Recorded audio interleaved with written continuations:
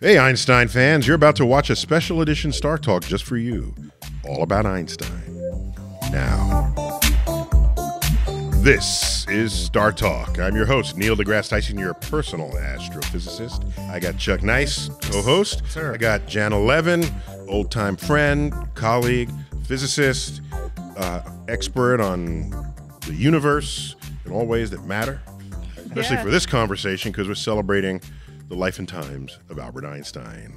so, uh, Albert Einstein was born uh, in Germany on March 14th, 1879. And Chuck, you know what day that is? Um, 1879, March 14th. March 14th. In any year. In any Yeah, year. what day of the year is March 14th? Uh, I believe it's the day that precedes the Ides of March.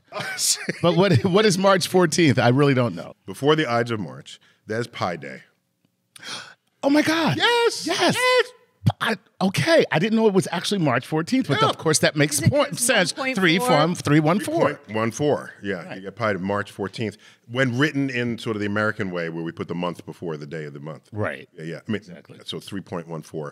That's Pi Day. Then you get really geeky. Mm-hmm. And then at 159, right? 3.1415, 159 and 26 seconds. Right. and you get a full up pi, pi moment. Can I just suggest that that's probably the co- access code to every physics department in the world? That's the one, two, three, four of like if physics you walk departments. up, if you walk up to a sealed theoretical physics department, Try pi. try three Try point one four one five. and you- you'll get it. You- Oh my God, it worked. And, and, and, and tomorrow, the missiles got launched, and be all because of Janna. Yeah, I shouldn't reveal these things. So let's let's let's talk about this. So, uh, Janna, how what is the annus mirabilis, or and why and why do we even say that in Latin? Why, why couldn't we just say it in English? His miracle year. It- it's well, I don't know why do we say it in Latin. That's a different question. We'll just talk about the miracle year It's. America, Jack. because so 1905, Yeah, 1905. 1905, How old is he? 25. Yeah, yeah, 20. Yeah. Um, so Einstein um, was a, pat, a clerk in a patent office, and um, he couldn't get a job in a physics department. His father was desperately writing to famous theoretical physicists saying, "You know, my son's really committed," and um, Like any dad. he couldn't get hired. Yeah, yeah. One of his professors called him a lazy dog, and here he is in this patent office in Bern, Switzerland, and he has a drawer at his desk that he calls the physics department. and in this drawer, he has these scientific papers he's working on in between finessing other people's patents to make them better. Wow. And in that year, he has this extraordinary year where he publishes a series of three papers that absolutely transform modern physics. Um, one of them is on the special theory of relativity. Mm-hmm. One of them is on Brownian motion, which refers to the atomic aspect of air and molecules. Like if you see a little piece of lint, you notice that it takes a zigzaggy pattern, and that's because it's all these little molecule mm, atoms Hanging on on it. it. Mm-hmm. And um, the photoelectric effect, which is staggering because it, it, it probes the wave particle duality of light, mm. that sometimes light acts like a wave and sometimes it acts like a particle. Did this by the time he was 26. yeah. Chuck, how, how old are you? And unemployed. Verify. I'm 22. There's still time. I got time. Okay, you got time. Thank you for verifying that. Uh, so uh, we call it a- an annus mirabilis. Why do we say it in Latin? Because it was all in German. Did that get him a job? Oh yeah, well he became he he did become to to the credit of the scientific community, even though this outsider was publishing these papers, it was very swiftly accepted the significance of all these papers, very swiftly, and that should also be a lesson to those many people who send me their theories that when they're transparently correct, Yeah. they are grabbed at with glee. Right. And, all the all um, the most amazing, mind blowing, earth shaking scientific research was published in legitimate journals, accepted Yeah. by peers, Yes. by peer reviewed. You, you Yeah. can, so so as, as they say, to be a genius is to be misunderstood. Right. But to be misunderstood is not to be a genius. Oh, that's nice. Yeah, that Yeah. so you can't come to me and say I'm I have an idea, but the establishment is not. They're going to reject it. Therefore, it's brilliant. Therefore, right, They don't get this, man. They just don't understand. right, right. I'm starting a Facebook page for everyone to evaluate. You know, so they don't have to come to us. tell you right. They just amongst themselves talk amongst Talk amongst yourselves. Yeah. Well, now now we have Twitter for that. You know I mean? It's, now, now, he didn't call it special theory of relativity. So when who, who, who called it special? Um, that's interesting. I maybe I actually don't know specifically the history. I mean, Why do we have you on the show? Uh, because I could explain Someone out there know why? I mean, the general theory obviously came later when he included the curvature of space time, but I don't know who actually coined it special. It was just the theory of relativity at the time. Because the paper was on the electrodynamics of moving bodies. Mm-hmm. That's the name of that paper. paper. Yeah. Of the special relativity paper. Grabbing title. but the amazing turner. thing, So, so that was wait, 1905. Yeah. And then a general theory comes out when? 1915. So that's 10 years. Yeah. And he basically pulled that out of I mean, it's out of the ether. It's probably published in 1916, but it's like it's 10 or 11 years of struggling with the mathematics to elevate um, what we now call the special theory to the general theory. Working alone.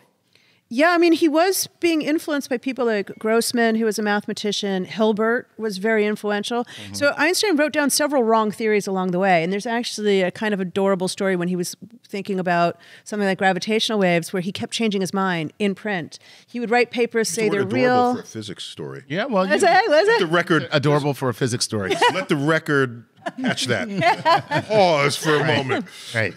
I- I- yeah. And right after this, believe me, we're going to get to some very darling theories. So Cheeks he, you just want to pinch. Yeah. All right, go he on. writes a paper saying uh, gravitational waves are not real. Then he writes a paper saying they are. Then he writes another paper several years later saying that they're not. In between acceptance of this paper and publication, he sneaks in a draft of a manuscript that says that they are. And one of his colleagues says, Einstein, you have to be really careful. Your famous name is going to be on these papers. And he just laughs. He says, My name is on plenty of wrong papers. You know, you do not need to worry about that. So it takes him a long time. I mean, there's decades of him figuring out gravitational waves. And the general theory was 11 years, and he needed help from other people. He wrote down several wrong theories. no. What a deadbeat. Einstein, you dumbass. Ten years. Is that is that actually is is that actually something that is?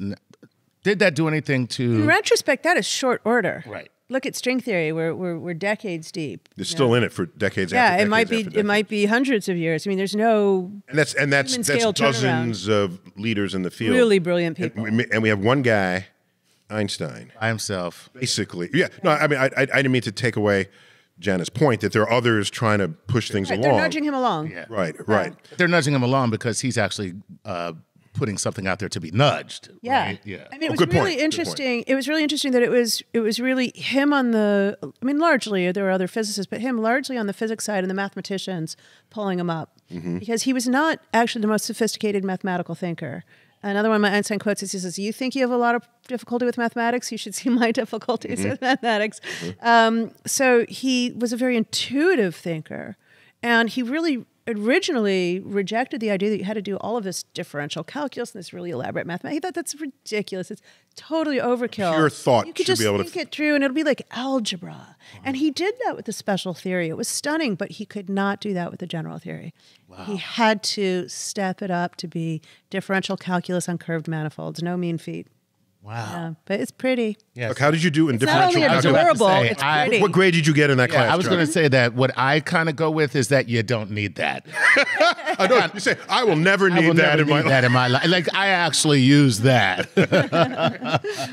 So, all right. So he does this, and then in 1921, he wins the Nobel Prize. Hmm.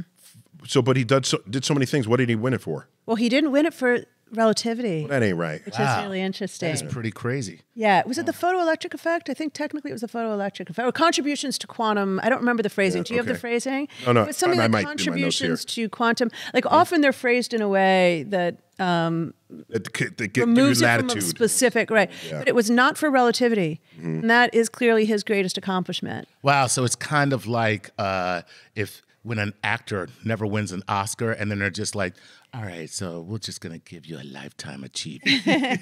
He won it in 21, which is quite early That's- in yeah, a way. I mean, it was pretty soon after he proposed. It's it, it's not staggeringly late after he proposed this sort of revolution of quantum thinking. And the interesting thing is that he never really accepted quantum mechanics, right? So he initiates this revolution. what, what is up with Einstein? Insulting Einstein. Wait, but wait a minute. Is that his brilliance? The fact that he was so self-contradicting? Like he just, uh, no, I can't. It couldn't be. I think his just couldn't be brilliance that. is. I think there's something to that, which is his refusal to accept them something he didn't actually understand. That's a good point. Okay. Plus, there was the he.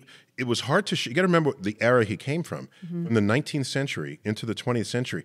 This was the towering achievement of classical physics, where the world, the universe, was deterministic. If you tell me where to stand and I measure the motions and uh, momentum, I will predict all future of this universe. Hmm. That was a certain posture that the community of physicists has. Up comes quantum physics, where you is it going to is it a wave? Is it a particle? Is it is that some percent of the time? And that, mm-hmm. and who and and and what was his famous quote? He was trying to tell God what to do. What was it? Um, God doesn't play dice. Was that the oh yeah, one? God, doesn't doesn't play. play I'm dice. telling God not to throw dice. right. Oh, he tells God not to throw I dice. think so. He said, "No, God doesn't." I think, as quoted by Niels Bohr or somebody, Right. God doesn't play dice with the universe. No, he I think plays at one- roulette instead. Roulette. he plays craps. plays craps, you know. Yeah, no. Well, then what does Stephen Hawking say later? God not, o- not only plays dice, but he sometimes throws the die where you can't see them. Yeah, yeah. There you go. There you go. So, Sounds to me like God's a grifter. so, so, so, and then, and then uh, Einstein said something else at another point about God, and and then Niels Bohr, I think it was Niels Bohr, said, Einstein, stop telling God what to do. he just got pissed off. So let me tell you if you agree with this, Janna. Okay. So uh, this is my measure of why I think general relativity is a crowning achievement of the human mind, greater than almost anything else. Special relativity from from 1905. I think there were enough people on the tail of that, on the trail of that, that he that if Einstein were not around, special relativity would have been in, figured out hmm. within a few years of that of that date, maybe by 1910. Whereas general relativity is so different from how anybody was thinking, it might have gone another 50 years. And so this for me makes general relativity a greater singular achievement than special. Wow. I do think that you're right. It would have been many decades before it was discovered, if it had not been discovered by Einstein, general relativity. And That's how I know is you badass intriguing. among your But I also think it would have looked totally different. So Einstein gave us all of this. The general theory of relativity is a theory of curved space-time, and we follow the natural curves in space, and all of this elegance of of geometry.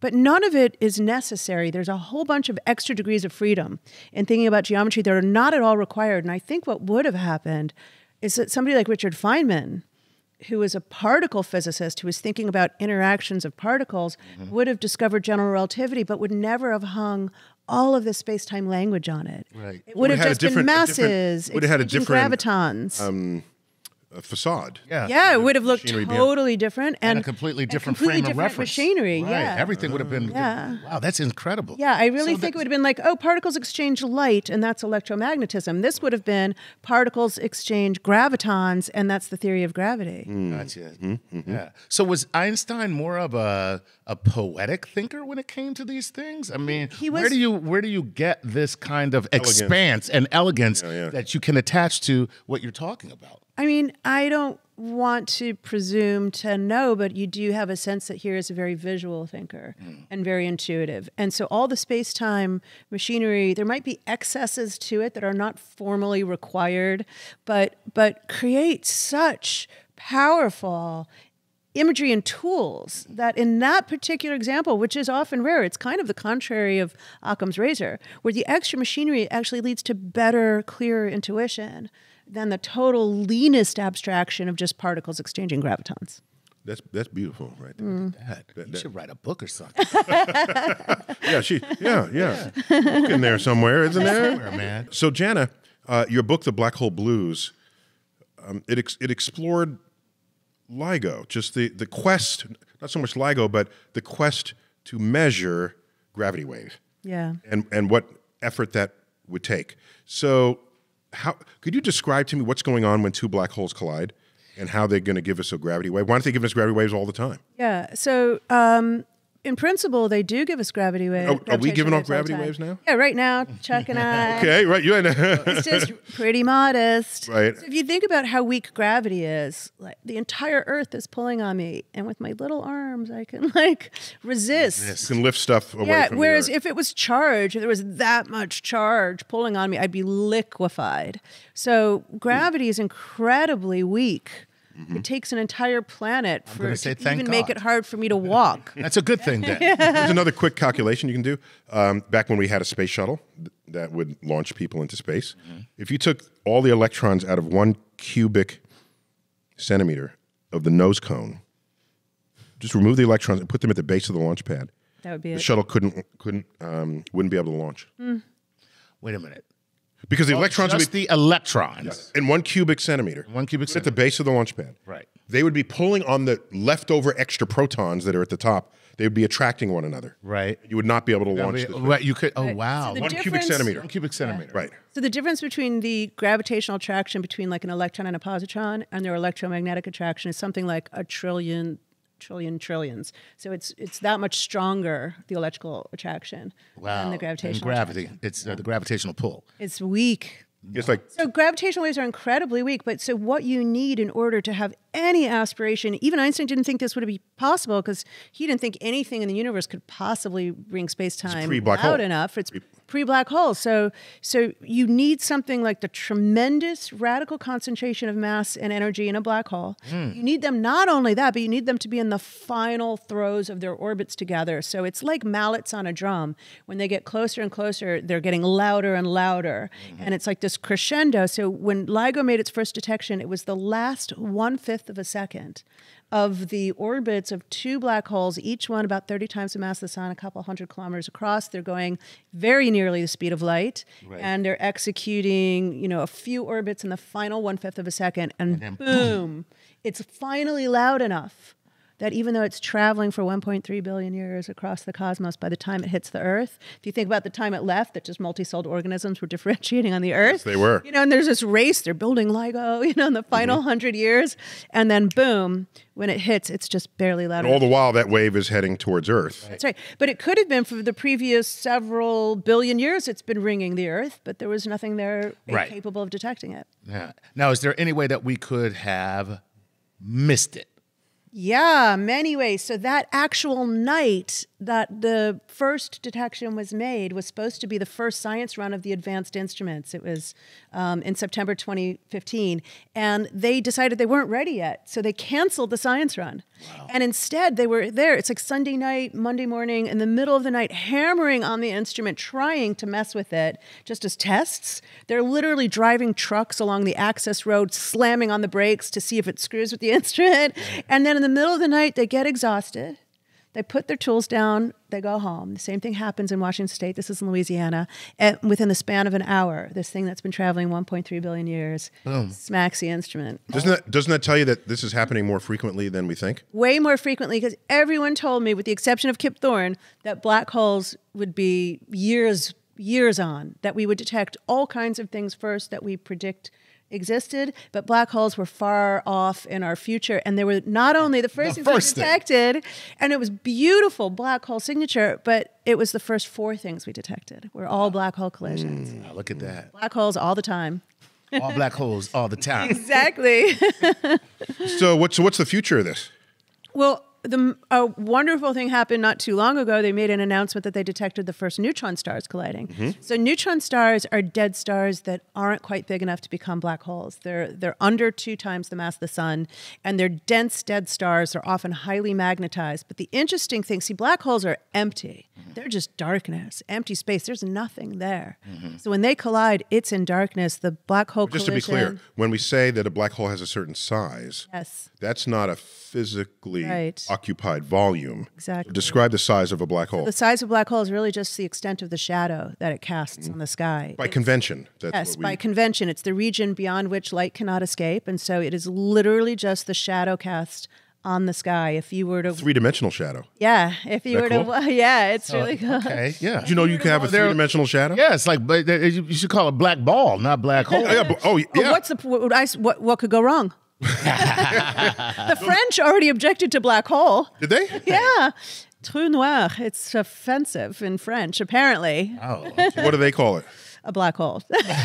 they gave in, you know. They gave in. Yeah. Couldn't resist forever. Yeah. So, so uh, that's the fascinating thing about a hole. When we think of a hole, we think of a a, a, a circle in a horizontal surface that you go through Right. in a plane. Right. Whereas this is a hole in three dimensional space. Right. You can fall into shadow. from any, Any direction. direction. Yep. woo! And walking into the shadow should be as harmless as walking into the shadow of a tree. Nothing's there. You wouldn't notice anything. Mm-hmm. You'd cross right over. There's no dense material there. There's just nothing there. So when black holes collide, it's truly a dark event. Which, even though this was, the first collision was the most powerful event ever detected since the Big Bang, Okay. none of it came out as light. None of it. So can I ask you this? If If it did, it would be the brightest thing in the night and daytime It would have sky. outshone all the stars in the observable universe combined. right so, okay, what if we don't see what's colliding? Mm-hmm. Okay, what is colliding? Space time itself. Oh. So the black holes blob together, Um, and the hold shadow for a second. distorts. Wait, just hold on. My, ah, my head. A bout of existential Oh God! Ah, space angst. time itself. collapse, colliding. yes. then like this blobby thing it sheds off all its imperfections and it settles down to be one bigger black hole so there's a black hole out there as far as we know about a little bigger than 60 times the mass of the sun that's just wandering the cosmos aimlessly completely dark and completely quiet but the I'm just a fantastic thing is they settle down Yes, I'm only a hole. Don't get in my way. So, so that's amazing. yeah you see it in the, i mean you hear it in the recording that LIGO makes you hear it ring down you hear it settle down to a final black hole So, so tell me how 1.3 billion light years away hmm. we can know it's two black holes, one 28 times the mass of the sun, one 36. What is getting modeled there? Yeah. Give us that confidence. it is there's an old fashioned mathematical problem can you hear the shape of a drum and it's very similar I, if i bang a drum yeah, That, that's I think I'll call uh, that'll be the title of my memoirs. Can you hear the shape nice. of the drum? Can you hear the shape of the drum? we all recognize sounds you know our phones go off and we're like that's my ringtone so um, it's kind of similar we have a prediction for how the mallets, the black holes, bang on the drum of space time, creating a sound. And it's a very specific prediction. It's not a whole range of possibilities. We can literally hear, if I played for you our predictions, the difference between black holes that were extremely disparate in size, it sounds different. Uh, if the black holes are on wildly eccentric orbits, it sounds different. Um, so you can reconstruct the motion, size, behavior, spins of the, of the mallets. With some things less confidence than others. So, like the spin of the black holes is hard to determine. They're, they're both probably spinning. Some things with less confidence, but that there were two black holes with a pretty good degree of confidence. Yeah. and uh, with the masses that they were ascribed. Right, with the masses they were ascribed. So you can you can tell how big they are too, because if you you can hear the orbits again, just like how you can hear mallets on a drum, and even Those are, that's a weaker signal, though. Well, it is, but it's 0.7 times the speed of light, and you can tell when it's done one full orbit, and that tells you how big the system is. Okay. And that means you've got you know the, these two black holes summing to a little more than 60 times the mass of the sun in a region only a couple hundred kilometers across. All right. So how are you going to do that? Yeah, there's only one way. Yeah. do it, right, So, are there any black holes tiny enough that they spin and collide and create the sound of a triangle? Well, it is fantastic that black holes that are just a few times to hundreds of times, 10 times the mass of the sun, something in that range, actually ring space-time in the human auditory range. What? Yeah, so the LIGO as an instrument Told me that once, and I said, "What are you? What are you? What are you talking about? So LIGO as an There's no sound in space." is sensitive to the range of the piano. So it's true there's no sound in space because there's no air. And anyone who sees somebody screaming outside a spaceship is going to write complaints on Twitter that they don't know what they're talking about.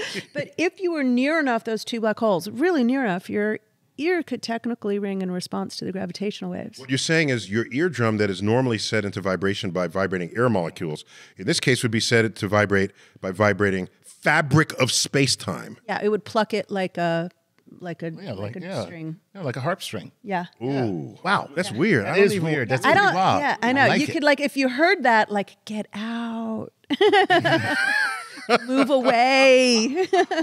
like imagine you would see nothing. No, no. If you heard that, You would see it's nothing, Too but you late. It's right. Right. Too bad it doesn't actually. Uh, uh, uh, maybe if that's what it says when you hear it. Instead of a sign. boom, it's just like a ha ha ha. You're cooked.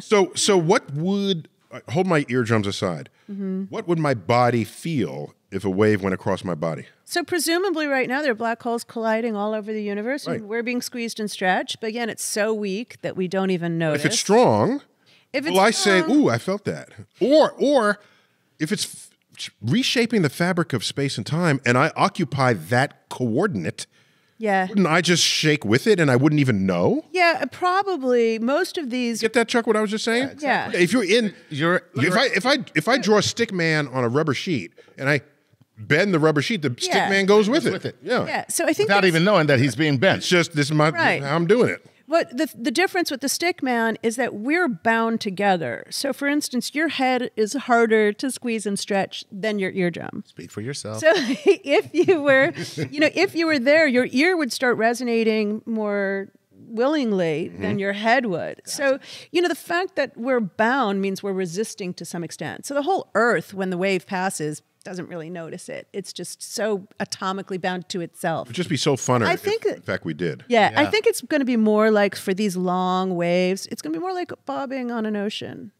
you know, which is kind of what the mirrors in the LIGO instrument do.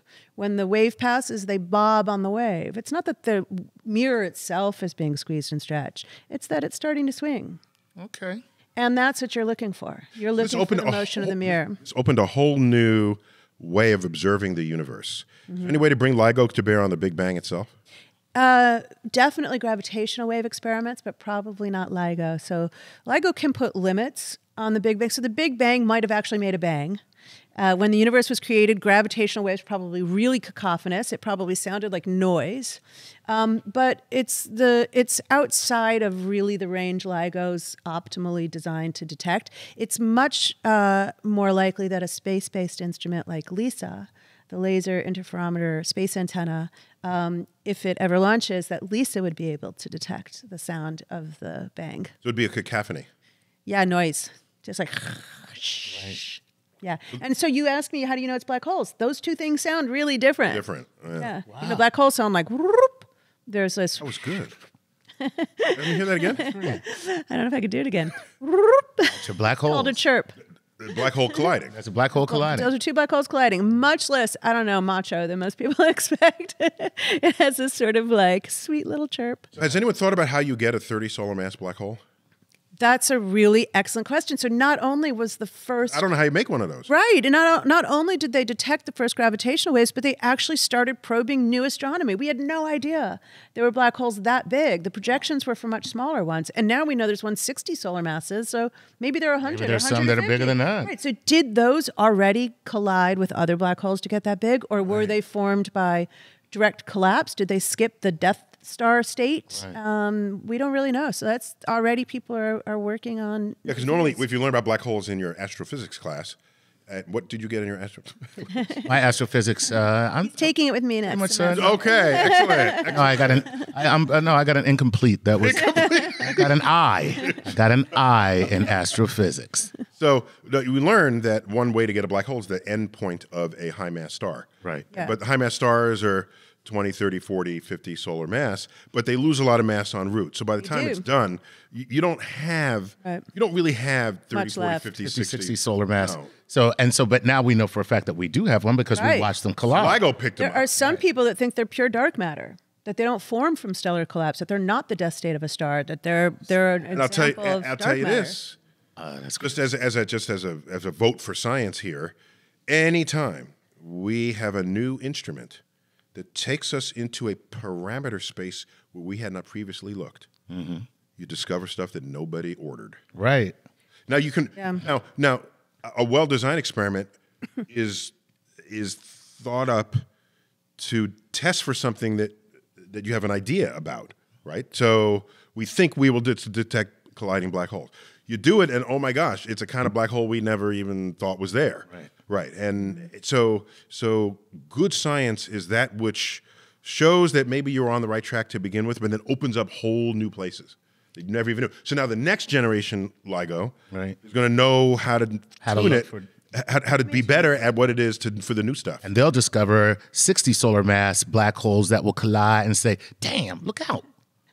Look, That. no, no, no, no, it wouldn't be. That's where you're going. No, no, Chuck, it wouldn't be the 60s because the 60s would be more powerful than the 30s. All right. So it would de- it would detect uh, lower mass black holes or the 30 mass black holes farther away. Farther away. Right? Also, what about something we've never even thought of before? I mean, you think of the time Galileo first pointed the telescope at the sky, he's looking at Saturn, he's looking at the sun. He's not thinking quasars and black holes. Those things aren't even mm-hmm. conceivable to him. And what we all really hope secretly is that we're going to discover stuff in gravitational waves that we couldn't possibly see in light. After all, 95% of the universe is completely dark. Right, exactly. So maybe there's something out there that we have not even thought of, and that is what everyone hopes for, to be honest.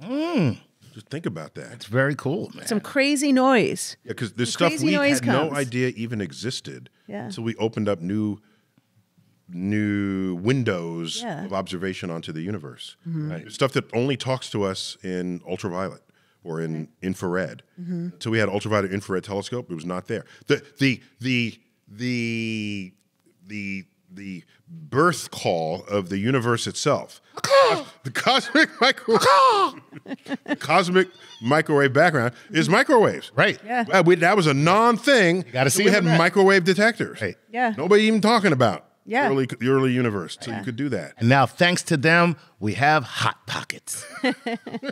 So uh, can you give us just some final reflections on Einstein's life, so that if we want to think, if, if we want to live. You know how a religious person would say, "I want to live the way Jesus lived," Hmm. right? So, in the geek world, you say, "I want to live the way Einstein lived." Uh, Yeah. is there anything that you can tell us?